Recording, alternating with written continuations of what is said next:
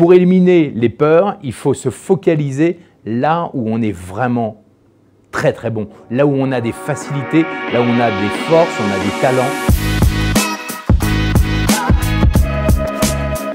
Je dirais que c'est l'expérience qui fait aussi que euh, on, peut éliminer des peurs. Pour ne pas euh, être dans la peur en permanence, il faut euh, voir aussi l'avenir. C'est-à-dire qu'il faut...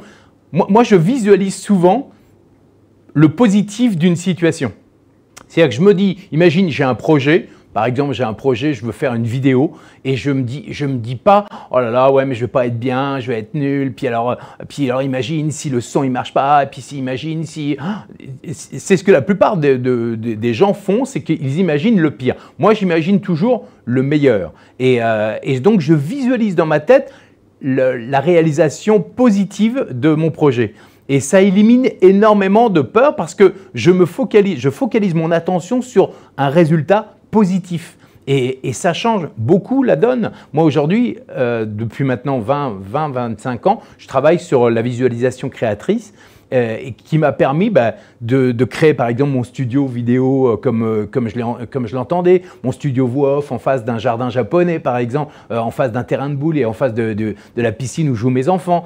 J'ai visualisé des, par exemple des, des conférences c'est marrant parce que les conférences ou les, ou les formations, quand je les visualisais parfaitement bien, de manière positive, ça se passait merveilleusement bien.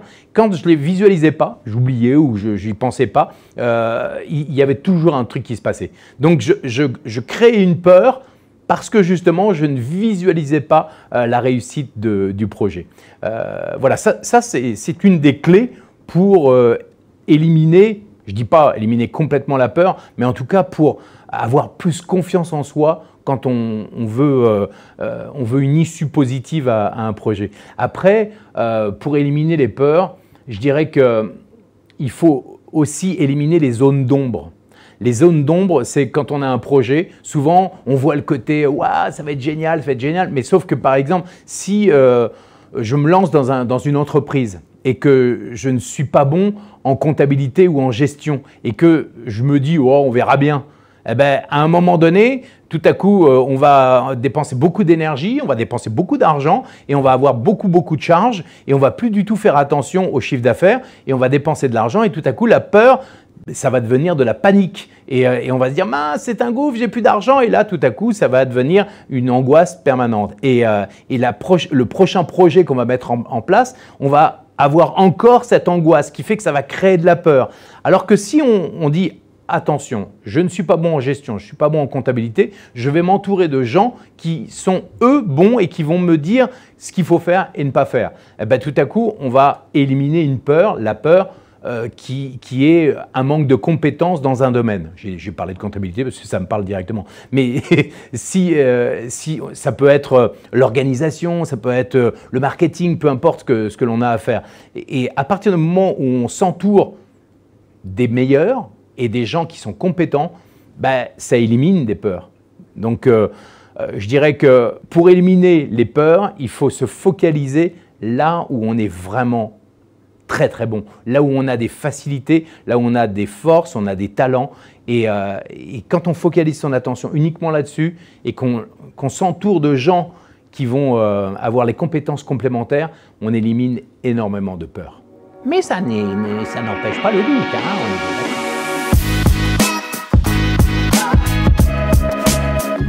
qu'est-ce qu'on doit déléguer, euh, sachant qu'au début, bah, quand on se lance dans un business, on n'a pas forcément les moyens et on se dit qu'on va tout faire, le montage, le marketing, le copywriting, le, les, vidéos, euh, on, va, penser à la stratégie, on va penser à son produit, on va penser à tout et on va tout faire et on, oublie euh, de déléguer. Et la plupart des experts vont vous dire, bah ouais, mais déléguer, déléguer, déléguer. Et au bout d'un moment, on se dit, ouais, mais d'accord, mais je délègue quoi? Oui, bonne question. Très très bonne question. Euh, il faut déléguer au départ, c'est simple. Il y a un calcul extrêmement simple à faire. C'est combien tu vaux? Et souvent, la plupart des gens qui ne savent pas déléguer, c'est souvent parce qu'ils n'ont pas évalué leur valeur. Combien bah, en tant qu'expert, par exemple, euh, financier, je dis n'importe quoi sur un, expert financier ou un expert en marketing, combien est-ce que tu vaux? Bah, euh, je vaux, aller, euh, j'estime valoir à peu près 100, 150 euros de l'heure. Ah, ok, tu vaux 150 euros de l'heure. Combien coûte quelqu'un qui va te transcrire une, une, vidéo ou te télétranscrire une, vidéo? Combien coûte quelqu'un qui va faire du montage? Bah, tu, peux trouver des gens qui font du montage à 100 euros la journée ou 150 euros la journée. Donc 150 euros la journée, si toi, tu vaux 150 euros de l'heure, ça veut dire que en une heure de temps, tu peux trouver quelqu'un qui va faire 8 heures de montage.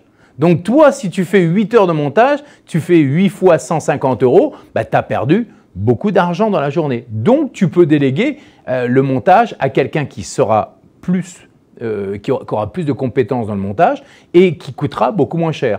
Et même si tu n'as pas euh, l'argent, ben, pose-toi la question de savoir qu'est-ce que tu peux déléguer que tu ne sais pas faire et qui n'est pas important et urgent et, qu'est-ce qui est euh, et, qu'est-ce que tu peux faire toi? Parce que apprendre des compétences, ça prend du temps. Faire des choses dont, on n'est pas très très avec lesquelles on n'est pas très à l'aise, bah, ça prend du temps et ça prend de l'argent. Et à un moment donné, est-ce qu'il ne vaut pas mieux focaliser son temps et son argent sur euh, euh, des choses que l'on est capable de faire très facilement?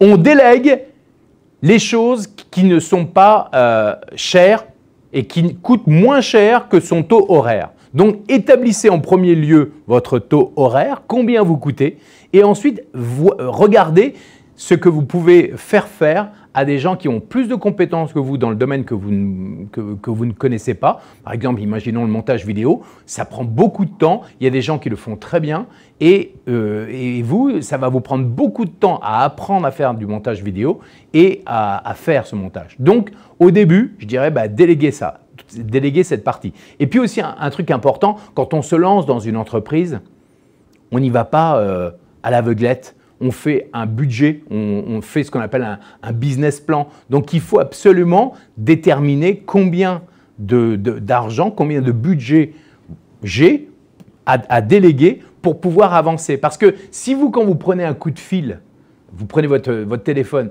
vous appelez quelqu'un et vous lui vendez, je dis n'importe quoi, un, un, service à 1000 euros, mais que vous passez 20 euh, heures à faire votre montage pour gagner 150 euros, ben, vous perdez de l'argent. Donc ben, focalisez votre attention sur le coup de fil que vous allez passer pour gagner plus d'argent.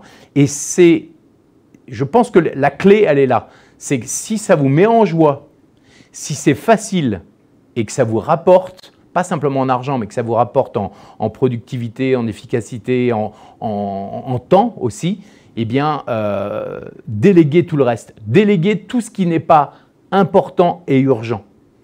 Et vous allez voir que vous allez gagner de l'argent, de la sérénité et du temps, énormément de temps.